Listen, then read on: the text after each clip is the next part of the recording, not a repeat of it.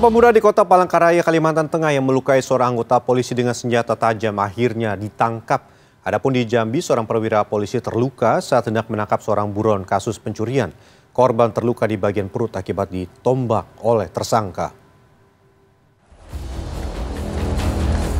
Penangkapan TH buron sejumlah kasus pencurian di Tanjung Pasir, Kecamatan Danau Teluk, Kota Jambi pada Selasa 10 Mei lalu mengakibatkan AKP Johan Silain, Kepala Unit Resmob di Treskrimum Polda Jambi terluka parah. AKP Johan terluka akibat ditembak oleh TH. Korban kemudian dilarikan ke Rumah Sakit Umum Daerah Raden Matahir Jambi untuk mendapat penanganan medis. TH sendiri akhirnya ditembak mati oleh anggota Resmob Polda Jambi lainnya usai melawan dan melukai AKP Johan. Nah, berangkat juga melakukan penangkapan, dia juga melakukan perlawanan dan bergerak cepat melukai ya kami selain dengan tombak yang tadi ini. Tapi bisa dipersiapin sama pelaku Pak? Ya tombak Sudah, itu sudah karena pada saat eh, pelaku itu mengejar arah AKP selain itu sudah dengan membuat tombak. Usai menjalani operasi di RSUD Raden Matahir pada Rabu pagi, AKP Johan lantas dipindahkan ke ruang intensif care unit Rumah Sakit Bayangkara Jambi.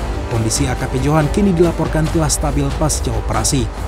Alhamdulillah untuk kondisi ya pada saat operasi itu tidak mengenai organ vital. Jadi mulai dari diafragma, usus dan organ vital yang lain itu dalam kondisi aman. Sepanjang operasi juga tanda vitalnya stabil. Di lokasi lain, dua pemuda yang menjadi tersangka pembacokan Aibda Ghazali Rahman, personel Polda Kalimantan Tengah, ditangkap anggota Jatan Ras Polresta Palangkaraya pada Rabu. Selain kedua tersangka, polisi juga menyita sebilah senjata tajam yang digunakan tersangka untuk melukai korban. Menurut Kapolresta Palangkaraya, Kombes Polisi Budi Santoso, penganiayaan terhadap Aibda Ghazali terjadi di sebuah lokasi tambang pasir di Jalan Cilikriwut, Kecamatan Jekan Raya, Selasa sore 10 Mei lalu. Melihat Aibda Ghazali ada di lokasi tambang, salah satu tersangka lantas meminta uang sebesar Rp50.000 untuk membeli minuman keras, namun ditolak oleh korban. Hal inilah yang akhirnya memicu penganiayaan. Para pelaku ini datang ke lokasi untuk meminta uang untuk alasan minum-minum.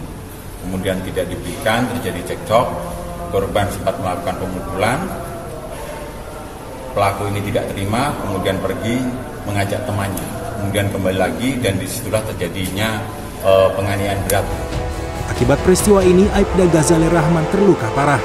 Korban saat ini masih dirawat intensif di salah satu rumah sakit di kota Palangkaraya. Tim Liputan CNN Indonesia.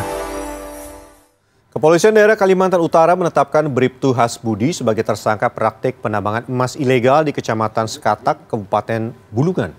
Bribtu Hasbudi menyandang status tersangka bersama empat orang pekerja yang selama ini menjalankan bisnis ini.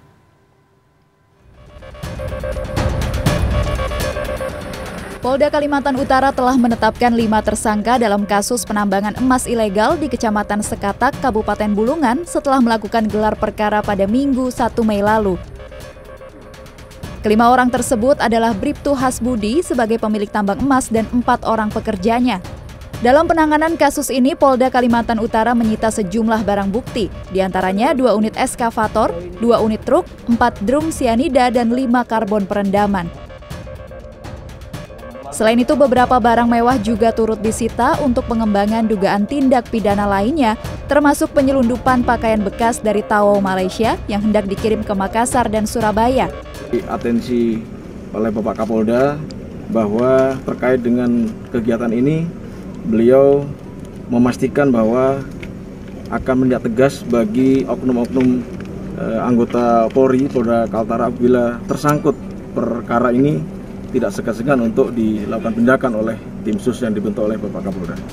Di lain pihak, Syafrudin selaku kuasa hukum Bribtu Hasbudi mengaku bahwa kliennya hanyalah fasilitator penambangan emas dan barang bukti yang disita polisi bukan milik Bribtu Hasbudi. Yang untuk sementara ini, tindak pidana yang naik sebagai tersangka adalah illegal mining, naik dalam rangka penyidikan adalah tindak pidana penyelundupan barangan, nah itu. Itu nanti kita lihat di situ. Apakah ada hubungannya harta barang-barang ini semua kalau betul barangnya ASB dengan tindak pidana yang dilakukan. Kasus tambang ilegal yang menjerat Bribtu Hasbudi mendapat perhatian Komisi Anti Rasuah. Pelaksana tugas Komisi Pemberantasan Korupsi Ali Fikri menyatakan, lembaganya siap membantu Polda Kalimantan Utara mengkaji lebih dalam kasus dugaan tambang emas ilegal dan menelusuri lebih jauh aset milik Bribtu Hasbudi.